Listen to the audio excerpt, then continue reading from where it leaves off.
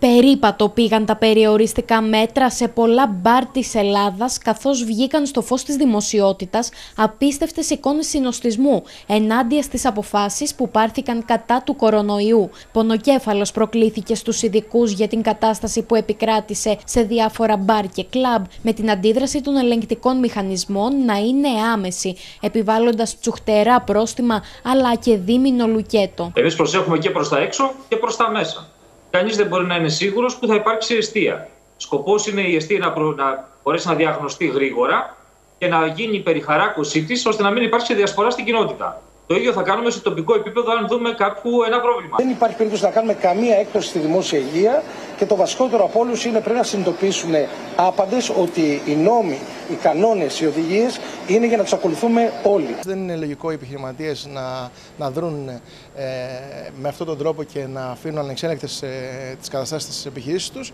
Ε, πρέπει να συνηθιστούμε όλοι.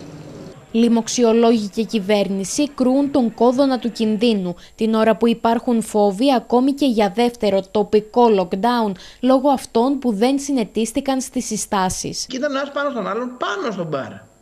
Δηλαδή ήταν σαν να μην υπήρχε κανένας ε, νόμος και καμία απόφαση. Εγώ μιλώ για το κομμάτι της ευθύνης της δικής μας, διότι ε, θα δείτε αυτό που σας λέω, θα δείτε να συχνοτίζουν, δηλαδή ήδη τώρα το βράδυ αν κάνετε μια βόλτα σε πολλά μπαράκια και καφετέριες θα δείτε ότι ε, δεν τηρούνται και κατά Ο κόσμος έχει χαλαρώσει. Την ίδια ώρα σήμερα κάνουν πρεμιέρα τα κλαμπ και τα νυχτερινά κέντρα διασκέδασης, τα οποία μπορούν μετά από δυόμιση και πλέον μήνες να υποδεχτούν ξανά πελάτες. Με αντισηπτικό, μάσκες και όλα τα απαραίτητα μέτρα προστασίας, ανοίγουν ξανά τις πόρτες τους στα εν λόγω μαγαζιά και στο Ηράκλειο. Όλο αυτό το διάστημα υπήρξε οικονομική ζημιά για, αυτά, για όλα τα καταστήματα.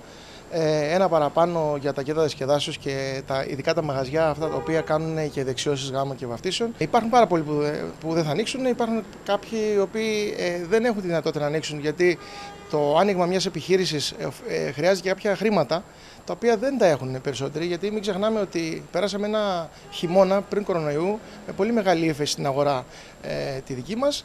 Ε, οπότε είναι τα πράγματα πάρα πολύ δύσκολα. Ξέρω πάρα πολλούς δηλαδή που δεν θα ανοίξουν ε, ή κάποιοι που έχουν κλείσει οριστικά τα καταστήματά τους. Η σταδιακή αποκλιμάκωση των περιοριστικών μέτρων έχει και συνέχεια, αφού στις 15 Ιουνίου ανοίγουν εποχικά ξενοδοχεία, γυμναστήρια και θεματικά πάρκα. Στις 29 Ιουνίου δόθηκε το πράσινο φως για τις κατασκηνώσεις και την 1η Ιουνίου ξεκινούν παραστάσεις και συναυλίες.